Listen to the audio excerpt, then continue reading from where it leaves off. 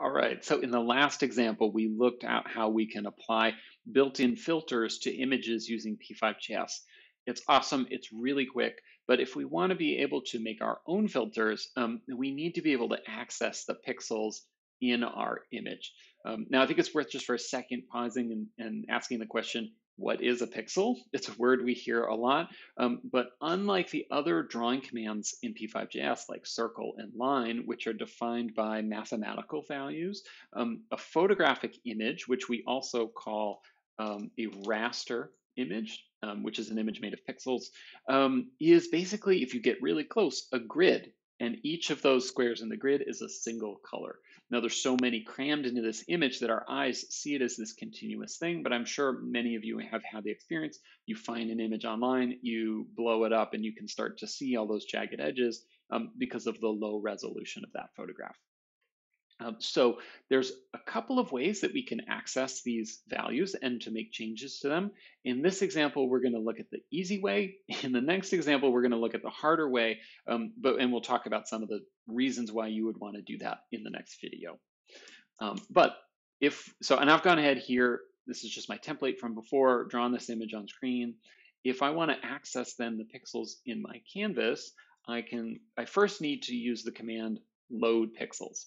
And what load pixels does is it makes sure that we have the most up-to-date, the most current um, data about the pixels on our canvas. So we always call this first. You'll see this in all the examples. Um, and then we can um, grab pixels using XY coordinates. So let's go ahead and see the first 10 pixels in this image. So I'll say for i0, i is less than 10, and then um, we can ask for a pixel at a given point. Actually, let's make this instead of i, let's make this x. So we're going to start in the upper left corner here and work our way across.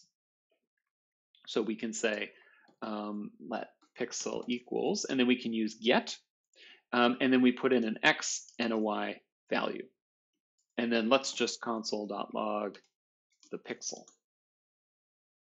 And so now you can see that it prints out um, each of these pixels, the first 10 pixels in our image, um, and there each one is a little array, um, a little list. And this is the color value in red, green, blue, and alpha or transparency. You can see here they're all uh, alpha is 255 are totally opaque.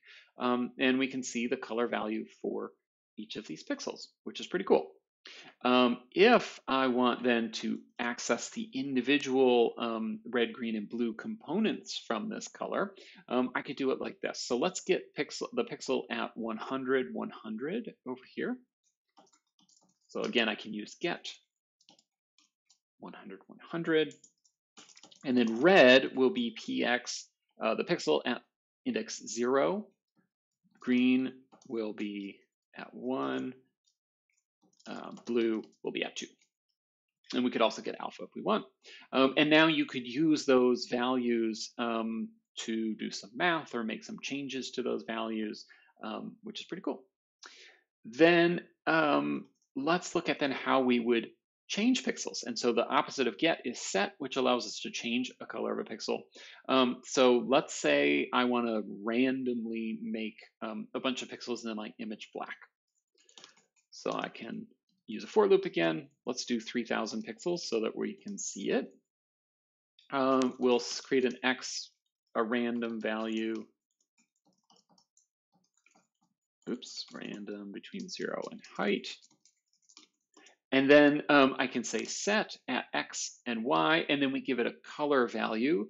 Um, so we can use the color command in P5JS, and then I'm just gonna make that zero. And now you'll notice we don't see any changes on the screen. Um, and that's because this load pixels command has a partner. That partner is update pixels.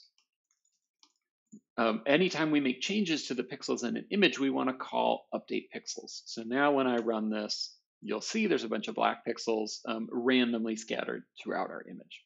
Now you might think, oh, where should I put update pixels? Now you could put it here every time we make a single change to our image, but that's going to be really inefficient. It's a lot of extra work for the computer.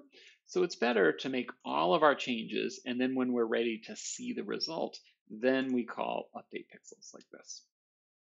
Um, so um, there's some downsides to accessing pixels using get and changing them using set. And in the next video, we'll look at another way of accomplishing the same thing um, that's more efficient for your computer.